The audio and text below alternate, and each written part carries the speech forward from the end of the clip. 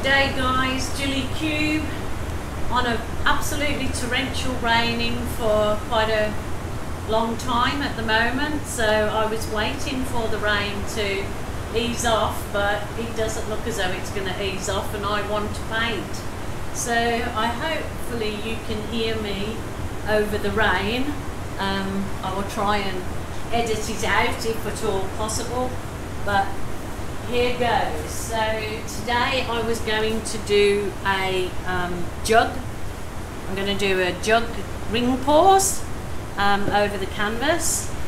I would like to first, I'm using the Mont Marte Studio acrylics and the uh, clear glue PVA 70% uh, glue 30% warm water pre-mixed I have the pouring recipe and suppliers underneath this video so please have a look underneath there. It has beginners videos.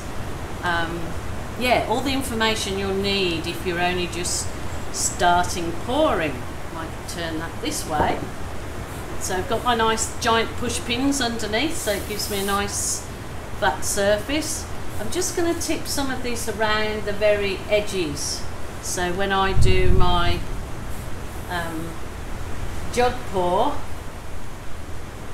I don't have to stretch it out to the edges. It just um, sees that they've got a bit of paint over. I mean it might well have plenty to go over the edges but just just doing this just showing you the options. Sometimes I don't do this and sometimes I do. So it's just showing you the options that you've got if you're worried about covering your edges with your when you tilt your pouring paint Yes, absolutely torrential. So from fires in Australia, we go to basically flooding. It's one extreme to the other. But, you know, I think most countries are the same. You either have uh, extreme flooding or fires.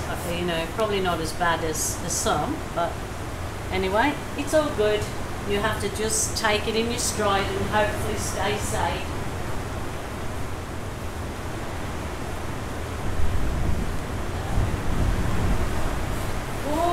good, good. Um, okie doke. First of all, I want to start with a darker. I'll go with the um, phthalo blue. So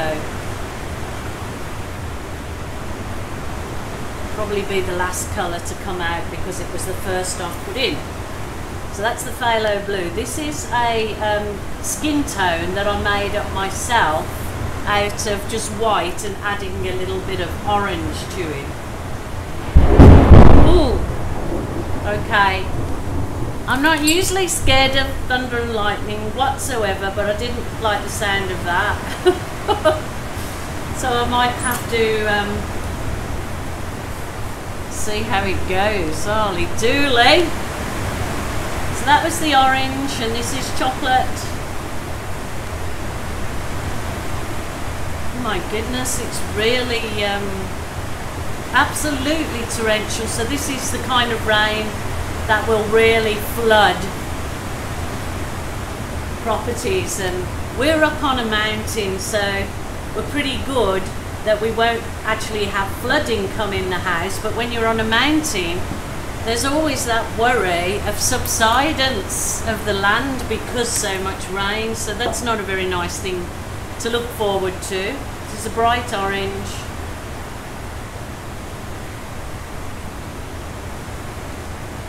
Mega jug pour. Oh, bright, bright yellow, should I say. Now bright orange. Oh my goodness. Maybe I'm getting a little bit stressed with this rain. Well, it, it's not actually the rain. It's um, when the thunder claps right above your head. Um, I mean, I'm inside and I feel safe. I don't like to get scared of nature, but yeah, it can be a fierce beast. A fierce beast. Okie doke. I may do one other little jug. I'm not sure whether I'll need it, but I just want to add some bright colours in this with the straight up with the uh, yellow and the orange. I'll add the skin tone.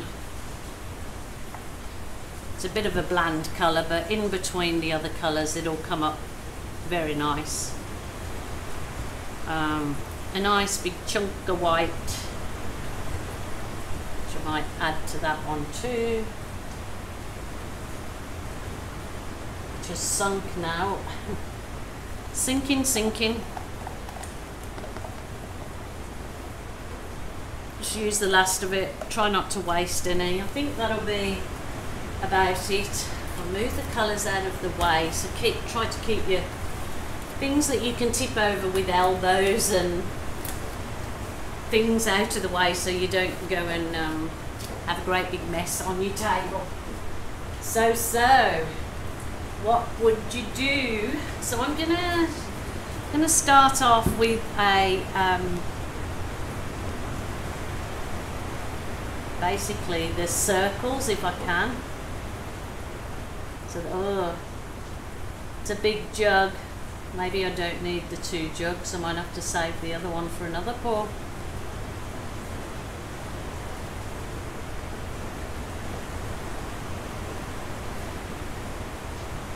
Kind of coming out and I don't know what's going on here. Ah, shouldn't have stopped. That's silly Jilly. Okay, try again. Yeah, probably easier working with a few smaller jugs, but or probably not as full as I had them, had this one. But you live and learn. Oh, and I'm still learning, so there you go.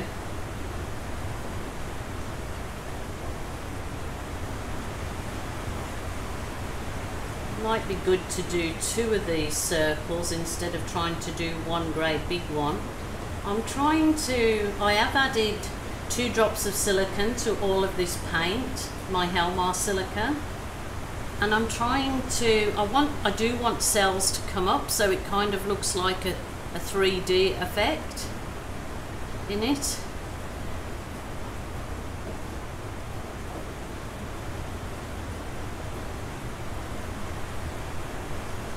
So yeah, it's just gently doing circular motions because if you do it too fiercely and too quick, I find that the paint muddies up. And because I did add a bit of brown, that was probably not a good idea. On my behalf, I wasn't, I just used up that bit of brown and I probably shouldn't have because it could make the rest of the colours go muddy because I'm waving it about. So it kind of mixes but we'll go with the flow and um, just another little experiment I wanted to try. I might try and move this out a bit more. It's obviously going to the centre. So I'll try and do a, a tunnel out of it. wow, that rain is fierce. We've already had way, way filled all our water tanks up, filled all the dams up on acreages, uh, given farmers lots of much needed uh, reprieve from the droughts they've suffered. So, you know, it is a good thing in one way for sure. I'm going to try going back in over here. Well, I've got some of the orange again.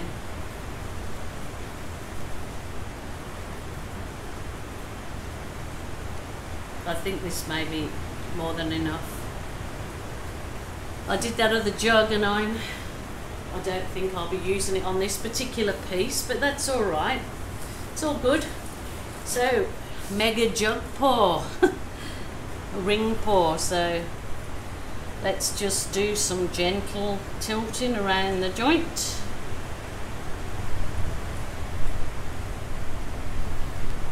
As usual, I want to thank you guys so much because I've reached my 40,000 subscribers and I am absolutely amazed and can't just can't believe it really because who'd have thought, you know, a woman teaching um, acrylic pouring techniques that it would even be a thing.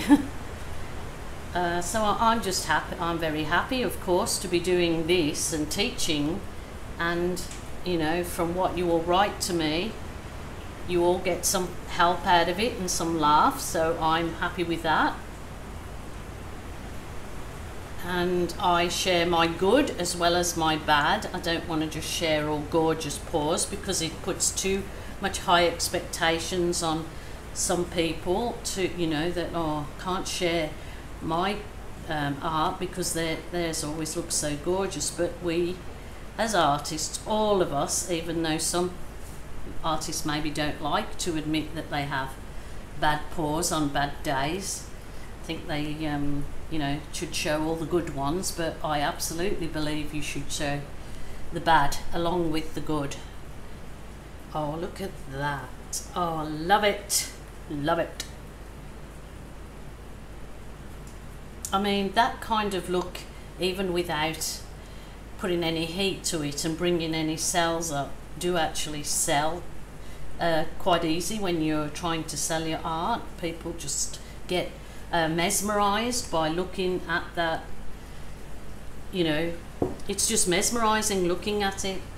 And no matter how many times I do it, I still can come in here and just look and see what I can see in things and enjoy it. Well, there you go, that magenta or whatever it was. I'm not sure if it was magenta or, yeah, it must have been. I added some bits and bobs to it. Um, that's, yeah, disappeared up this end, but I don't know whether I want it to disappear, but it doesn't really match anything that I've got going on the canvas, so it really does need to disappear. It's just that I like this bit here, so I don't really want to lose too much of that. So I'll try and dodge my way. It's like that machine that I played as a kid, and oh, I've played it as an adult too. The um, pinball machine where you're holding onto the machine and trying to rock it for the ball to go in the holes that you want it to go in. This is what this reminds me of when you're tilting your painting. I'm sure some people can relate to that. remember playing the uh, pinball machine as a youngster in a fish and chip shop that used to go into um, in Birmingham in England where I was born and brought up. Uh, came to Australia oh, over 35 years ago now. Never regret it for one moment. Absolutely love Australia. It's given me so many opportunities in life that I don't believe I would have had if I'd have stayed in the UK, coming from, and I was a low income family. My parents were loving and kind and helped us in every single way. And we weren't blessed with lots of money, but we were absolutely blessed with lots of love. I thank every day, I thank for being thankful for having such wonderful, supportive parents that I had. And, you know, hope and try my best for our kids. But my parents were supportive, but they never gave anything for free to, to us kids. You had to work for everything. And I believe in that makes you respect yourself and it makes you respect every penny you earn. Wowzers. I like it. I really like that. What do you think, guys? Tell me, tell me. I will do a close up. Um,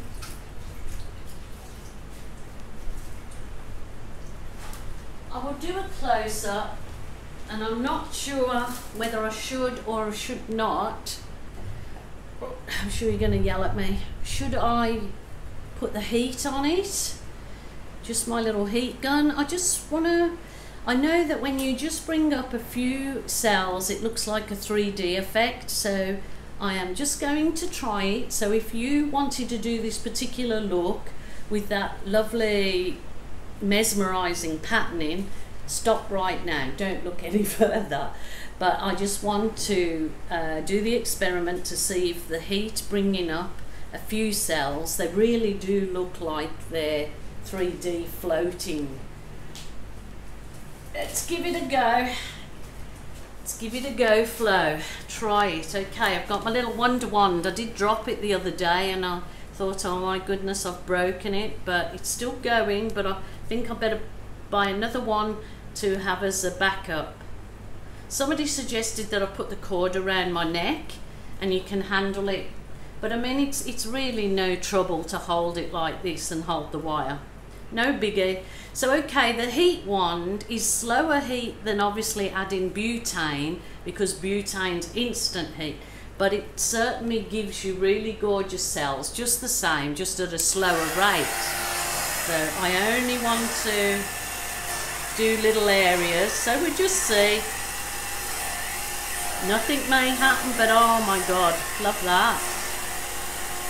Just want to do just takes a little bit longer to heat the paint but they do come up for sure and I love it. It's less dangerous, no chance of a fire. Just a few, she said.